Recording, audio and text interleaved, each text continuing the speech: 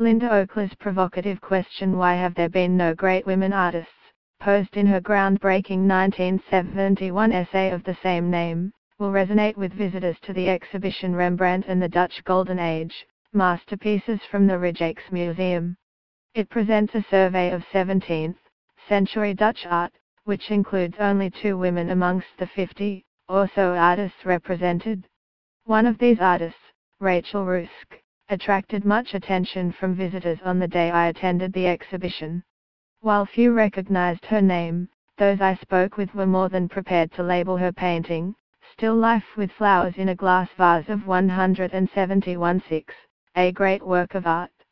Why then have the talents of women artists like Ruysch not been more widely acknowledged? Partially, this is due to a long history of, at best, neglect of women artists. Until recently, women were regularly blocked from pursuing a career in the arts. Consequently, few managed to establish themselves as professional artists. Ruysch was one of the few successful women artists of her age. Born in The Hague in 1664, she gained international renown as a painter. Such was her reputation that her paintings regularly garnered prices in excess of most of Rembrandt's, the headliner for the Rijksmuseum show. Knowing Ruysch's reputation in her own lifetime challenges the notion that the neglect of women artists can somehow be located exclusively within the past, when, it may be presumed, people were less enlightened than we are now. We too are to blame for generations of critics and historians have been unable to effectively establish artists like Ruysch within the key narratives of art history. This is, in part, due to the fact that women had very different experiences from the majority of male artists.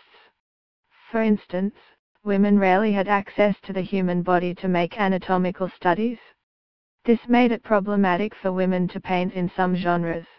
Ruysch mostly painted bouquets of flowers, a subject matter that, to us, may seem less capable of providing deep commentary on the human condition than, say, a self-portrait by Rembrandt.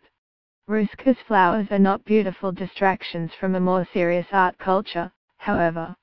They connect with deep cultural and philosophical values. A flourishing mercantile culture brought great wealth to the Dutch Republic, and with it, a taste for luxury goods.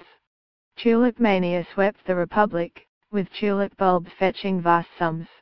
Tulips could, almost unbelievably, sell for the same price as a house. Ruysch's family had a particular connection with flowers. Her father, Frederick Ruysch, was a renowned professor of anatomy and botany. Ruysch's careful observation of the characteristics of flowers in her paintings speaks to a wider social investment in them, as well as the intellectual interests of her family, who valued innovations in empirical and scientific thinking. Ruysch's purpose in painting flowers is made clear through the recognition of a complex series of viewing experiences in still life with flowers. Individual flower species are carefully rendered, to be easily identifiable. Complex symbolism.